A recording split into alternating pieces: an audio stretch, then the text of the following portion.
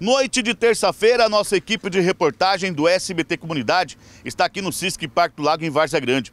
Estamos acompanhando uma ocorrência policial da equipe de Rotan, que está em capacitação. Eles em ronda patrulhamentos na região do Mapim, quando visualizaram este jovem, que você visualiza nas imagens de André Rezende.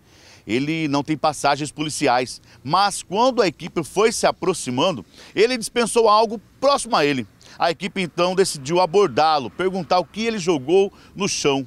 Quando a equipe abriu o pacote, meu amigo e minha amiga, olha a quantidade de entorpecente, maconha, dinheiro, muito dinheiro, e também este segundo entorpecente aí que ele não quis falar o que era. Não sabe se é pasta base de cocaína, alguma, algum entorpecente pastoso.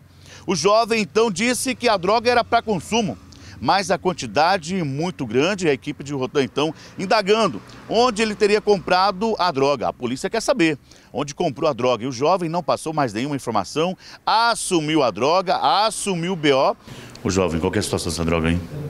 Minha mesmo, só. É sua? Não tem passagem pela polícia? Estava traficando ou consumo? Sou usuário. É usuário? Aquela ali mais pastosa ali, a pasta básica, caindo, o que é aquele ali? É isso aí mesmo que vocês estão falando. É base? Base não é base, não. Não é base não? O que é aquele ali? Não sei não, senhor. Sem falar, você Não sei, não sei, senhor. Se soubesse responder, não sei. Mas você usa aquilo lá também? Não. Só maconha? E quantos anos? 20. Primeiro e último ou ainda vai continuar? Sei, senhor. Cada um tem sua vida, né? Ele não tem passagens policiais. A equipe então deu voz de prisão para este jovem, ele encaminhado aqui para o CISC Parque do Lago, onde a equipe de Rotan, que está em capacitação, registrou o boletim de ocorrência e o jovem vai ser conduzido pela primeira vez, vai ficar preso e olha só que situação, vai responder por tráfico de entorpecente pela quantidade de drogas que foi apreendido com ele.